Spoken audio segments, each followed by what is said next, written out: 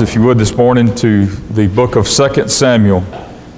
2 Samuel chapter 5 is where we'll take our main text from this morning. 2 Samuel chapter 5. It's good to be back in God's house. Uh, as the psalmist said, I was glad when they said unto me, Let us go into the house of the Lord. I trust you uh, got up this morning with that attitude as well, that today's the day that we go to God's house. And to be excited about that, look forward to that. We're thankful for those of you that are visiting with us this morning as well. That thrills our hearts that you've come, and we trust we could welcome you. Before I read the verse of Scripture, I saw something this morning. Uh, I ordinarily don't spend a lot of time just looking at the news on Sunday morning, and today was no exception. But I always do like to at least check it to see if there's anything, uh, I guess, of great importance that has happened during the night that I need to know about. And so I was looking at the news this morning, and I just uh, pulled it up on the computer and I saw a headline, and so it caught my attention, and I, I clicked on it read a, a story real quick, and uh, I thought I would share this with you. Uh, I think every one of you are probably familiar with the restaurant Chick fil A, and uh, most of you probably know that the man who started Chick fil A was a Christian man by the name of S. Truett Cathy, if, if I have that correct. And uh, he started that company many, many years ago. I believe he lived in the Georgia area around Atlanta. And uh, I think you probably know some of the things that the company stands for. And one of the things that uh, certainly that they have stuck to down through the years is the decision not to open on Sunday. And uh, I heard just recently that uh, their sales, Chick fil A's daily sales, are the highest of any fast food restaurant in the world. And you see how the Lord has blessed them for doing that. But having the, the point I want to get to in the story is this that most of you know that tonight is the Super Bowl and it's being played in Atlanta. And uh, Chick fil A sponsors a lot of the events that college football events and things that take place there at the it was the Georgia Dome. They built a new stadium there. I believe the Mercedes-Benz Dome now they call it. But uh, there is a Chick-fil-A that's located inside of that stadium, and uh, they have never opened on Sunday. We know that Atlanta Falcons play there, and they play on Sunday. And Chick-fil-A just doesn't open that restaurant inside of that building, even though there's an event going on, and they can make a lot of money. But today's the Super Bowl, right? But guess what? Not going to be open today either. I said that to say this that the, the convictions and the principles that we have out of the Word of God shouldn't be changed just because of circumstances, should they? And I think that's a good example to us. No matter how important something might be in the world's eyes, or no matter how much of an opportunity it might look like for us to get ahead, or to whether it be to make money or have success, that we must stand on the convictions that we have that are built upon the standards and that are built upon the principles that are taught in the Word of God. And that was a blessing to me. I hope that even through that, that people can be encouraged to stand upon the principles of God's Word. 2 Samuel chapter 5, let's begin reading in verse 17. We'll read down through the end of this chapter. 2 Samuel chapter 5, beginning in verse 17.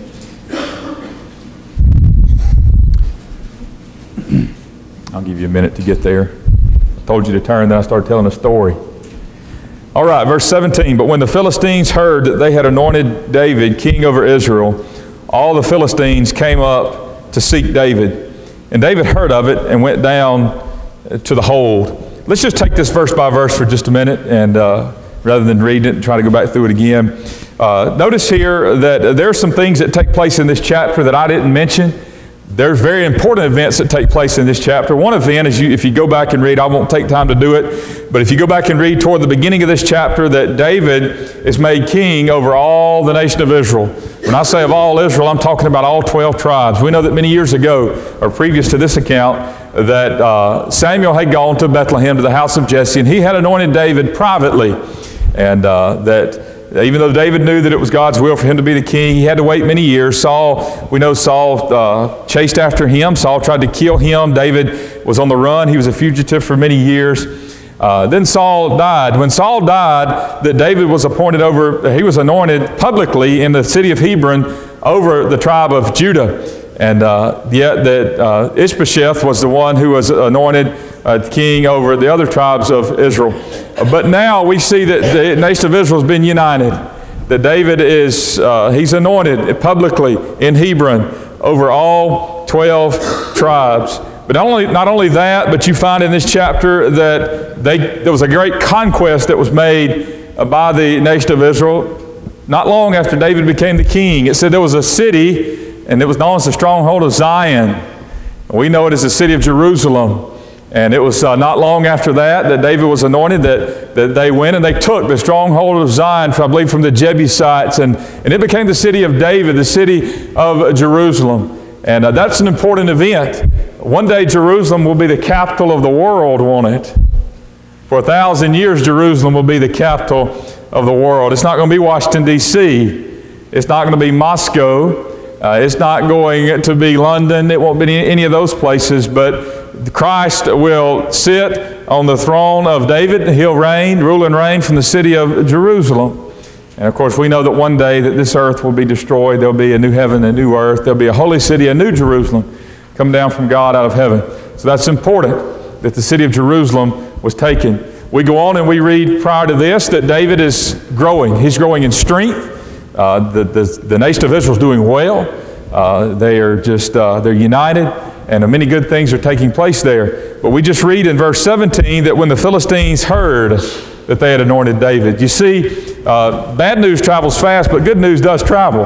It doesn't travel as fast, but it does travel. The Philistines were a nation of people that lived next to the, the nation of Israel. They lived over along the sea, the Mediterranean Sea. And they knew what was going on in the nation of Israel.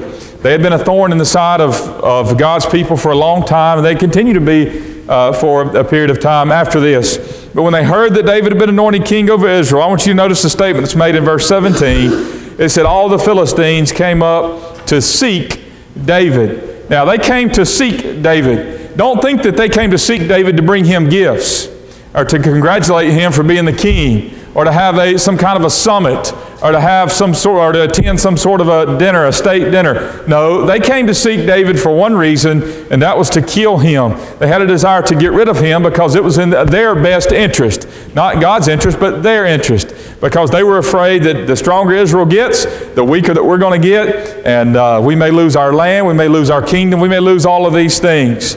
And it says this that when David heard of it, that he went down to the hold. The hold there be a stronghold or a fortress, a place of security. When David heard that the Philistines were coming. Let's read on. Verse 18. The Philistines also came and spread themselves in the valley of Rephaim. Now, I'm not real familiar with the Valley of Rephaim. I've never been uh, to the nation of Israel. But I had to go back and as I, as I went back and studied the Valley of Rephaim, I made the statement just a minute ago that the Philistines lived along the seacoast. Israel was a bit inland, it was in the hills. The valley of Rephaim was a valley that it didn't stretch all the way from Jerusalem to the Philistines' territory, but it did go part of the way. There was a brook or a stream that flowed through that valley, and so it was a natural passageway for the Philistines to come, at least and get near Jerusalem. And so that's where they came. They stretched themselves. It said they spread themselves in the valley of Rephaim. So they're, they're coming. David knows they're coming. They're getting close. But then we read in verse 19 that David inquired of the Lord. Now, David was the king, but he understood that I'm not a sovereign king. That I have one that's above me. David, that he has to understand, like as Joshua had to understand, as the angel of the Lord would appear before him and let him know that, that I'm the captain of the host, that you listen to me. David understood that while I'm the king, there's one above me, and I need to seek him. I need to seek his, um, not only his opinion, because God doesn't have an opinion, God's um, his word is fact, it's truth. But David inquired of the Lord, and notice what he says here in verse 19. He asked the Lord this question Shall I go up to the Philistines? Here they're coming in, and I'm in the hold, but should I go? What should I do? And so the Lord would answer him. The Lord said unto David, Go up. That word just means attack. Yes. The answer is a positive answer. Shall I go up? Yes. Move forward uh, Go up, for I will doubtless deliver the Philistines into thine hand. That's God's word, and uh, we know that God's word is God's faithful and true to his word. So he says, You go, and I'm going to give you the victory. And I want you to notice in verse 20, and David came to Baal Perazim, and David smote them there. and said, The Lord hath broken forth upon mine enemies before me as the breach of waters. That David did exactly what the Lord told him to do. He went forward. He, uh, Brother Wade, I believe from the way we read this, I don't believe that there would be any argument. He met him head on, didn't he? He just went. And God gave him a great victory. And uh, I want you to notice how it's described here. And when David said, when he was describing what happened, he said, The Lord hath broken forth upon mine enemies before me as a breach of waters. I mention that because just a few weeks ago, we were reminded, or y'all were up here, what a breach of waters does. He's talking about a, a, a, a dam that's breached. Water goes over the top, water washes it out, and we saw what great damage that did, even around here a few weeks ago, did it not? You think about anything that stood in the way of that was destroyed, wasn't it? He said that's how the Lord destroyed the Philistines. It was as a breach of waters. As a dam would, would, would collapse, as it would fail, and everything would be instantly destroyed. And therefore, verse, the end of verse 20, therefore he called the name of that place, Baal Perazim, which means master of breaches. That's what it means. He's uh, memorializing that place. Verse 21 And there they left their images, and David and his men burned them. The Philistines came with their gods, didn't they? They brought their gods with them. But Brother Kyle, they couldn't help them. And uh, so when David found the images, that he and his men destroyed them. Now let's go to verse 22. I want to take our thought out of these next four verses. The reason I spent some time with the previous verses is because they go together. Beginning in verse 22, and the Philistines came up yet again. Yet again. How did they come up? They came the same way and spread themselves in the valley of Rephaim. You see, they came to the same place. Evidently, maybe the same tactics. And when David inquired of the Lord, David did the same thing. It's almost like a rerun of what we just read. David again inquires of the Lord, and he said, Thou shalt not go up. Different message from God this time. Thou shalt not go up. He said, But fetch a compass behind them. Now, we don't use that wording uh, much today. I guess I've never heard anybody make this statement I'm going to fetch a compass. It's, it doesn't mean that I'm, I'm going to go get a compass. It means that we're going to make a loop. We're going to go around them. Uh, that, that, we're going uh, to encircle them. We're going, to, in other words, that you think about maybe going around the compass, going around the outside of that. We're going to make a big loop and get to the other side of where we are now. So the Lord said, Don't go up, but you fetch a compass behind them. In other words, you make a loop and go behind them. And it says, I want you to come up upon them over against the mulberry trees. So he says, You go around to don't, don't, don't come to the front side, but you go around behind them, and evidently there was a grove of mulberry trees back there. Uh, I like mulberries. I, like, I really like mulberry jelly, by the way. Uh, it's really good. But uh, nevertheless, verse 24, the Lord said this, And let it be when thou hearest the sound of a going in the tops of the mulberry trees, then thou shalt bestir thyself. So the Lord told David, said, Take your men, go back behind the Philistines, go over against the mulberry trees, and uh, you just stay there. Just wait. And he said, uh, you're going to hear a sound of a going or a marching. That's what the word going means. You're going to listen for a sound. He said, when you hear this marching and this going in the tops of the mulberry trees, I don't know how tall they were. I don't know if their mulberry trees are exactly like our mulberry trees are here. Probably not. Probably a little different. But he said, you just listen, and when you hear the sound of a going in the tops of the mulberry trees, he said, then you're going to move. Then, eh, That's what the word bestir means. He said, then I want you to move.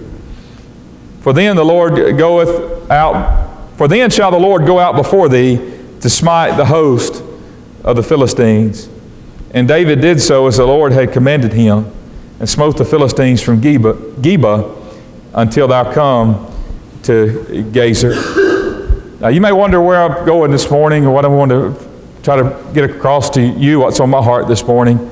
And I'm going to be honest with you. I try to be honest with you. I always try to. I don't, I don't enjoy preaching what I'm about to preach to you this morning. And it's not because that I don't like the topic or it's not because I don't like the examples I use or anything like that. I want to tell you this morning the reason I don't enjoy preaching what I'm going to preach to you this morning is because I haven't mastered it. I've not come to the place uh, that uh, I've learned to completely do what I'm going to preach to us this morning. And therefore, that's hard for me to preach to you.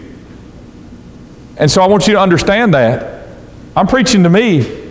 Listen, as even from this morning, as, as I was up early and I was reading and, and studying through this, the Lord's already spoke to my heart. I've already got the message.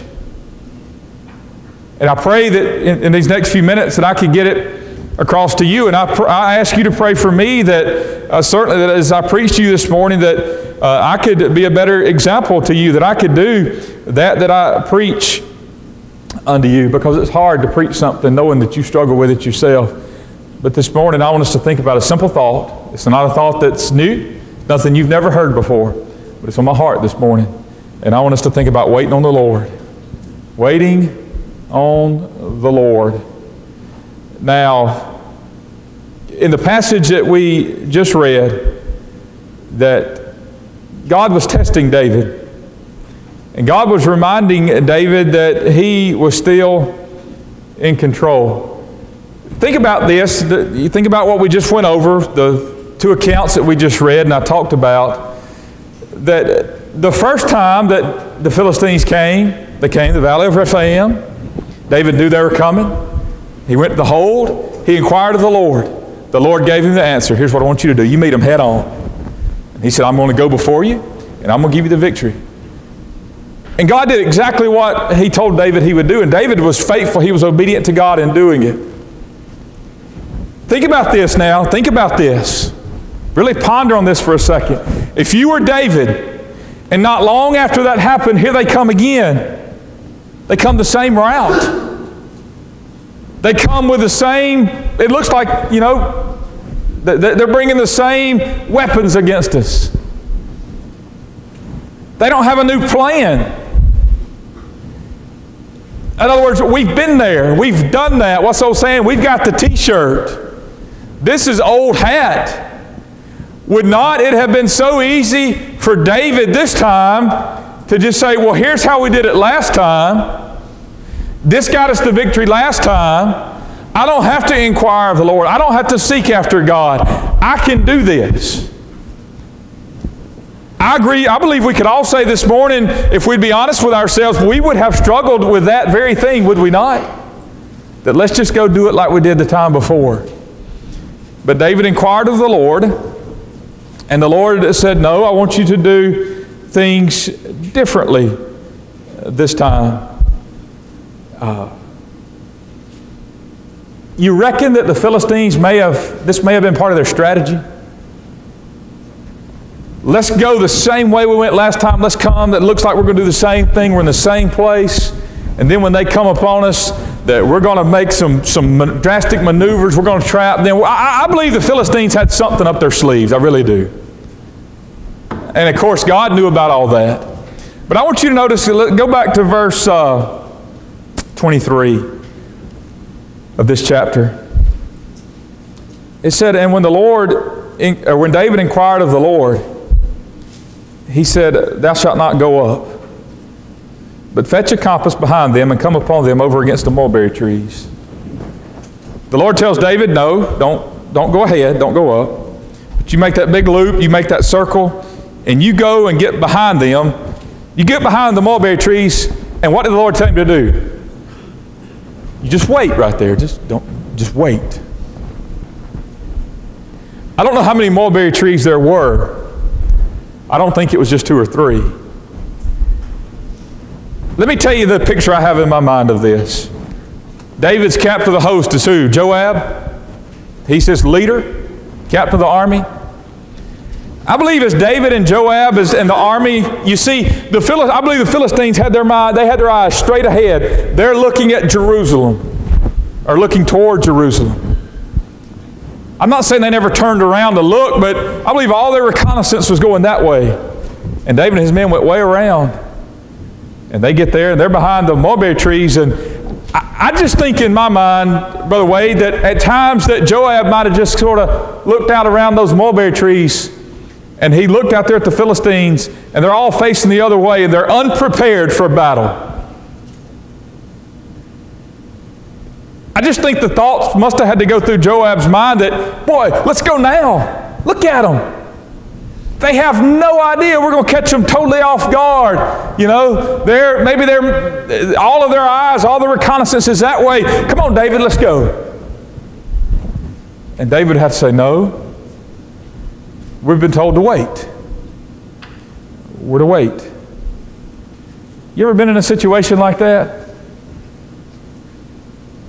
All the earthly wisdom, human wisdom said, go, do it, move forward. And yet, God's telling you, just, well, just wait. Just wait. And go, let's go to verse 24. This was the message that God gave to David. He said, Let it be when thou hearest the sound of a going in the tops of the mulberry trees. Just, just stay here. Don't worry about what they're doing. Don't try to use your knowledge and your wisdom and your prowess and your military intelligence. Don't try to do any of that. But you just stay here.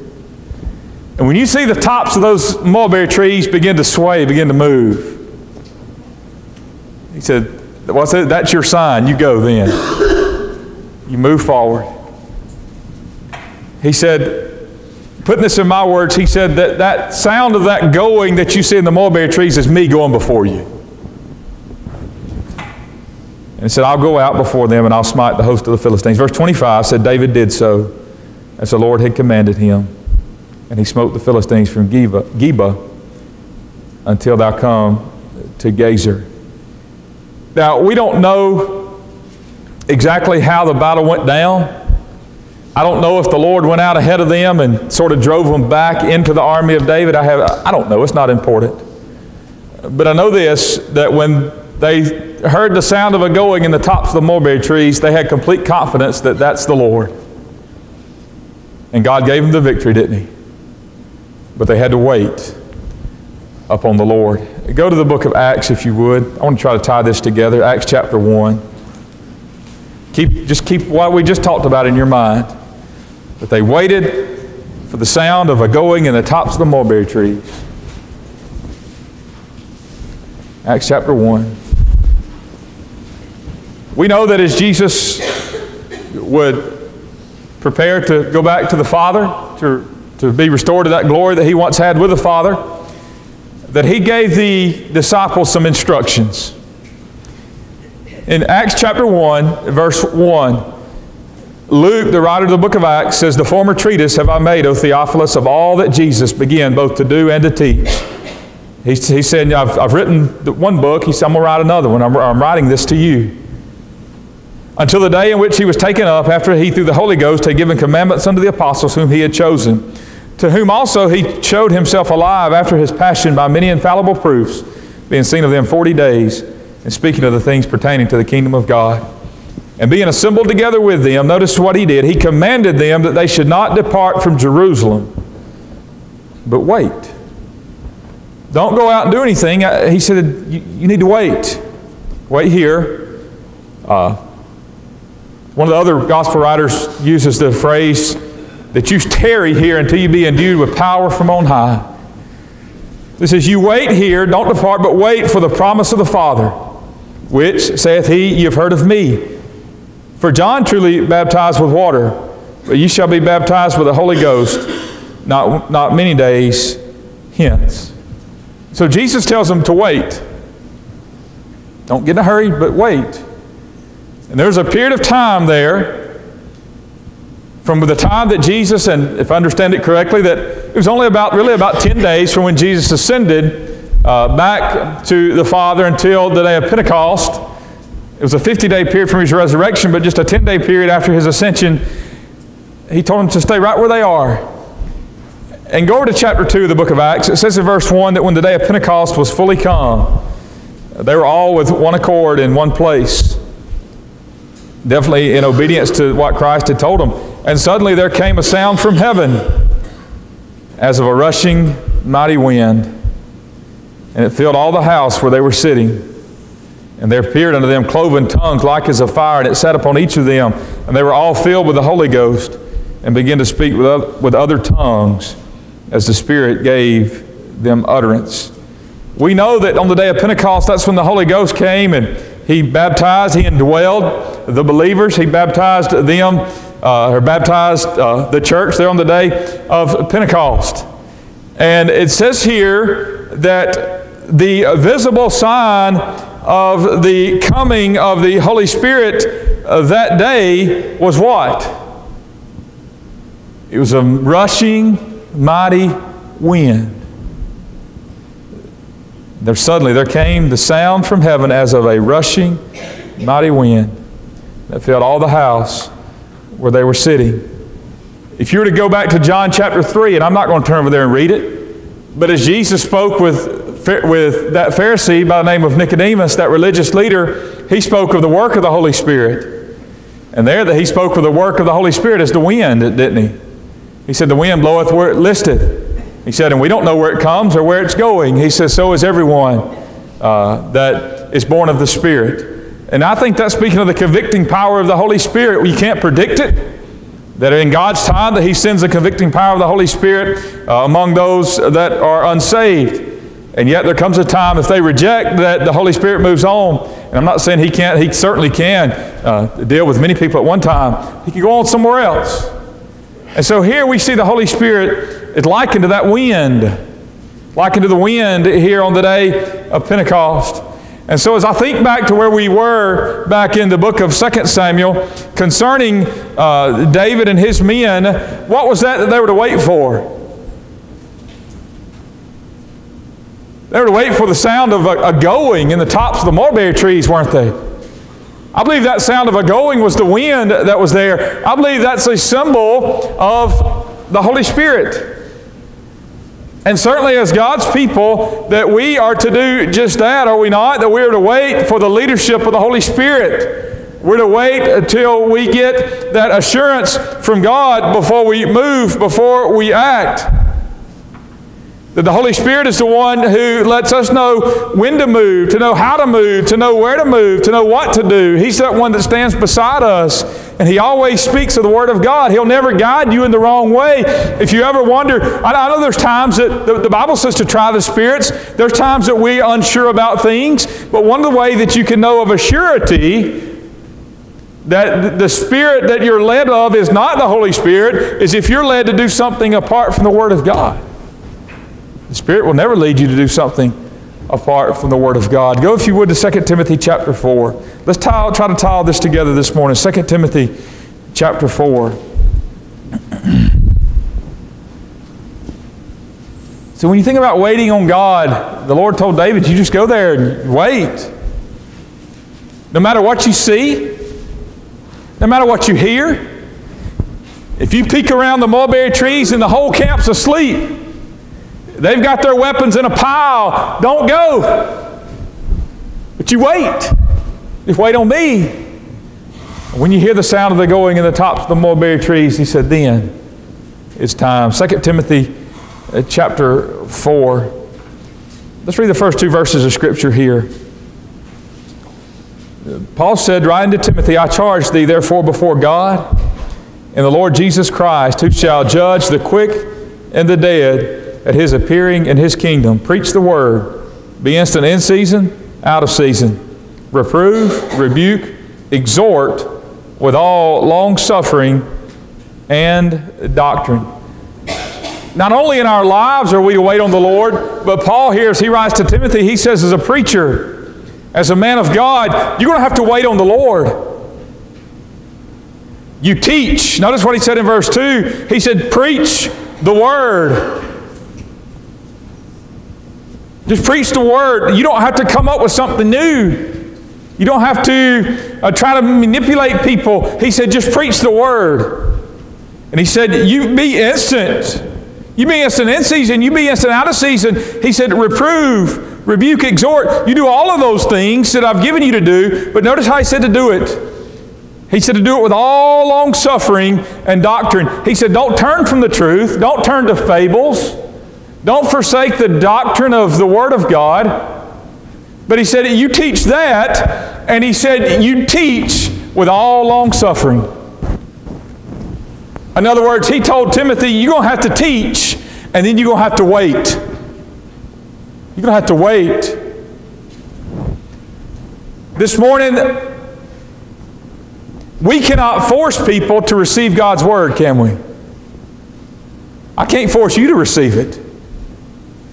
Brother Johnny was mentioning in Sunday school this morning concerning uh, Paul, I believe it was to the Colossians, that he would make the statement, yeah, he would make the statement to them concerning the fact uh, that, that he carried a great load in his heart for them. Spoke, spoke of agonizing on their behalf. And listen, there's times that I, I know exactly what he's talking about. I agonize for, for you. I agonize for the members of the church. I agonize over God's people. But I can't take people and beat them over the head with the Word of God. It won't work, will it? He said, You got to teach, you got to preach, you got to keep doing what you're doing, and you got to just wait on God.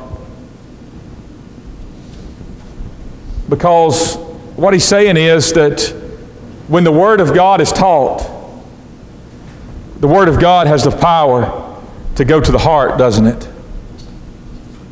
God can take it to the heart, but it might not be overnight. It might not be that those changes that need to be made in the lives of the church members or even in the church, it may not be that all of those things are going to take place this week. He says, You continue to teach. You do it with all long suffering, do it with patience. And wait on the Lord. You know where a lot of ministers get in trouble? You know where a lot of churches get in trouble? Trying to force things. And I'm not going to turn back and read it for time's sake. But back in the book of 1 Samuel, chapter 13, the Philistines had come and they had brought a great force against the nation of Israel, and Saul was the king. And it said that Saul looked up and he saw, he saw this great force that was come up. He saw they were outnumbered. And it said the people were afraid. They were going hiding in caves. Some of them were going uh, into another country. They were forsaking him. And, and days went by. It said seven days went by. And Samuel was, was supposed to come. And he was supposed to come as, as the priest and, and offer a sacrifice. And that Saul waited and he waited. And Samuel never came. And it said the people trembled and they were afraid. What will we do? And what did Saul do? He stepped out of the place. And he, he made this statement to Samuel. He said, I forced myself to make a sacrifice unto the Lord. You know what Samuel told him? He said, That was foolish because that's not your place. You're not a priest. And that was the beginning of the end for King Saul, wasn't it? When he forced something.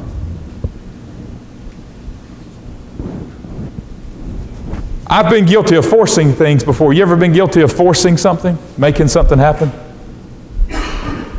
And it never ends well, does it? Why? Because it wasn't God's time. To come to the place to just wait upon the Lord. I want to just give you a couple of scriptures real quick. Psalm chapter 130. Let's go to the Psalms and then we'll close. Psalm 130. There's so much in the Bible about waiting on the Lord. I, we could spend days and days, weeks and weeks studying it. That wouldn't be prudent this morning. But I do want to just remind you of some statements that the psalmist makes here in the psalm. psalm chapter 130, verses 5 and 6. The psalmist said, I wait for the Lord. My soul doth wait, and in his word do I hope. You see, that was the reason why David was able to wait because he wasn't waiting for something that he just hoped would happen. He was waiting for God to do what he said that he would do. That makes, it, that makes a difference. He said, I'm putting my trust in his word. I'm putting my confidence in him. And then he made the statement in verse 6. He said, My soul waiteth for the Lord more than they that watch for the morning. I say, more than they that watch for the morning. Now, you think about the waiting for the morning. Probably all of you can remember at some time that you waited for the morning. You waited for the sun to come up. Uh, I know a lot of times that people that are very, very sick, it seems like sometimes as you maybe you lay there and, and uh, you're just so, so sick, you just make, oh, if it could just get morning. Wait for the morning. But the psalmist said here, he said, I wait for the Lord more than they that watch and wait for the morning. You know, when we wait on the Lord to fulfill His promise, it's just as sure as it is waiting on the morning. It's going to come. I do that. David knew what it was to have to wait on the Lord. Many times, many examples we could look at in his life that he waited on the Lord. David made this statement, Psalm chapter 40. Listen to what he said in verse 1 of Psalm chapter 40. And uh, I want to I wanna ask us the question. Psalm chapter 40, verse 1. David said, I waited patiently for the Lord.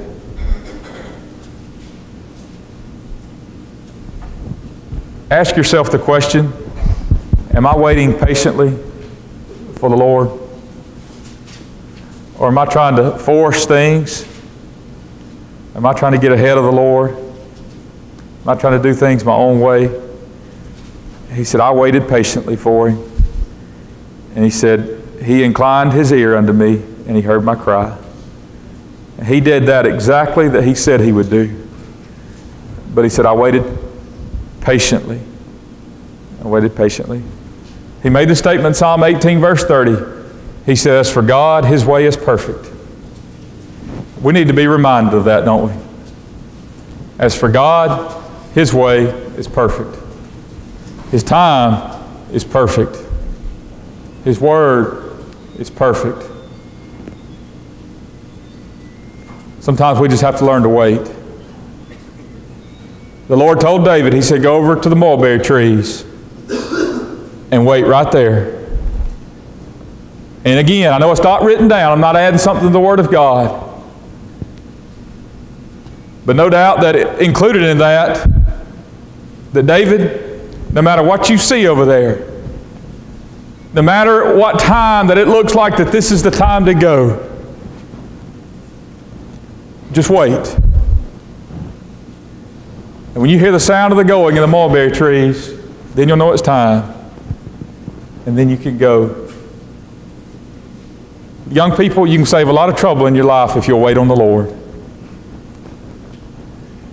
There's so many times that, that young people do things, whether it be, you know, getting married, whether it be going into a career, a lot of choices, that you, a lot of important choices that you have to make. They don't wait on the Lord, they force things. And because of that, they get into horrible situations. They cause them grief the rest of their life. I would encourage you to wait on the Lord. Don't worry about what everybody else says. Don't worry about that it seems like that that's the wrong thing to do, that I'm missing opportunities. Wait on Him. Don't be conformed to the world, but be transformed by the renewing of your mind that you know what God's will is for your life. I know I didn't quote that exactly, but that's the essence of the verse. Waiting on the Lord. And then when the Lord says to go, what do we need to do? We need to go. That's the thing. Don't go in front of him, but don't lag behind him. Wait on him. And when you hear the sound of the going in the tops of the mulberry trees, when, when, when you're assured by the Spirit of God that it's time to go, then go. Let's ask for a song this morning. If you'd have anything upon your heart, any burden, any prayer request, any way the church is known to receive members, any way we can help you.